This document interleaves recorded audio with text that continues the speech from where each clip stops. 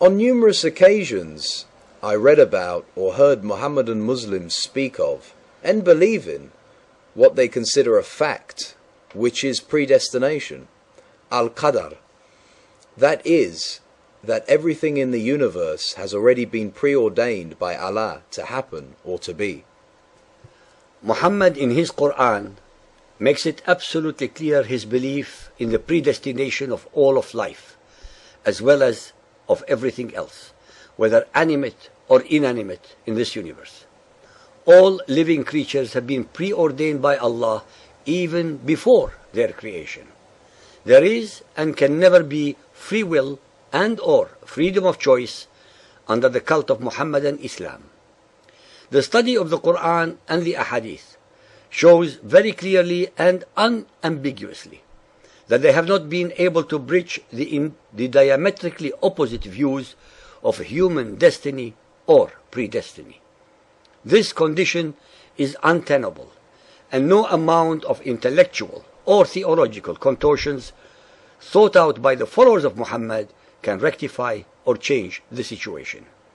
This dichotomy renders most of the Quranic verses utterly meaningless from both the logical and the theological points of view, as will be shown. Chapter 3, verse 145. Nor can a soul die except by Allah's leave, the term being fixed as by writing. It is upon such repeated verses that the followers of Muhammad deny the concept of human free will.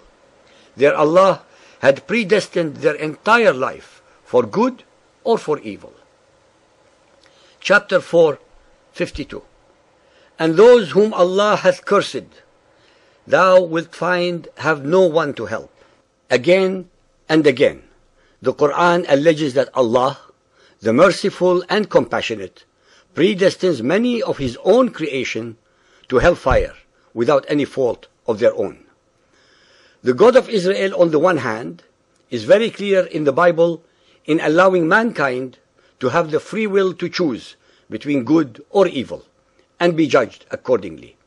The Quran, on the other hand, has changed the rules without justification or justice to the detriment of most humans. Chapter 659 Not a leaf doth fall, but with his knowledge. There is not a grain in the darkness or depths of the earth, nor anything fresh or dry, green or withered, but is inscribed in a record clear to those who can read. This verse represents one of the clearest declarations of the concept of predestination in the Quran. This concept degrades the human faculty and spirit by straitjacketing it into whatever status it is born to. Neither intellectually nor morally can this be acceptable, since it makes Allah guilty of being unjust, immoral, and full of hate, as He condemns many of humanity to punishments for committing crimes that they were forced to do because they were already predestined to commit them by Him, Allah. Chapter 7, verse 34. To every people is a term appointed when their term is reached, not an hour can they cause delay, nor an hour can they advance. 10. 100. No soul can believe except by the will of Allah, and He will place doubt or obscurity on those who will not understand. Chapter 57, 22. No misfortune can happen on earth or in your souls, but is recorded in a decree before we bring it into existence. We do not have time to recite many more such verses in the Quran and Hadith that the listeners can read at their leisure on our advertised website. I would like to end with two of the most remarkable and revealing hadiths. Sahih al-Bukhari hadith 6.473 narrated by Ali. Muhammad said, There is none among you and no created soul but has his place written for him either in paradise or in the hellfire, and also has his happy or miserable fate in the hereafter written for him. This hadith clearly states from Muhammad's own mouth the dogma of predestination. Al-Tirmidhi hadith number 96, narrated by Abdullah ibn Umar. Allah Messenger went out and he had in his hand two books. He said, Do you know what these two books are? We said, Allah Messenger, we do not know, but only that you inform us. Thereupon he said, This one which my right hand possesses is a book from the Lord of the worlds. It contains the names of the inmates of paradise, and the name of their forefathers, and those of their tribes.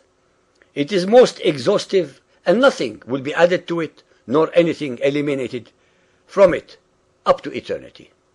He then said, This one in my left hand side is a book from the Lord of the worlds.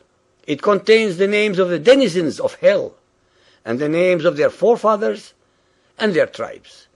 It is also exhaustive, to the end that nothing will be added to it, or nothing will be eliminated from it.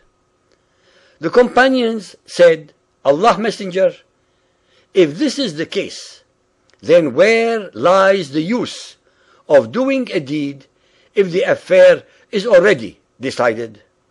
Thereupon Muhammad said, Stick to the right course and remain as close to it as possible.